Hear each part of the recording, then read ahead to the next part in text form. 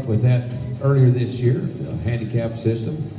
We've been trying a little something sneaky on this bull with the flank, and it's been working, so we're gonna try it again today. Dennis has got him about ready.